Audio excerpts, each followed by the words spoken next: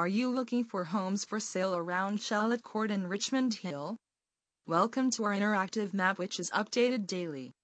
If you are interested in receiving newly listed properties, click here on Just Listed and you can receive listings based on your criteria.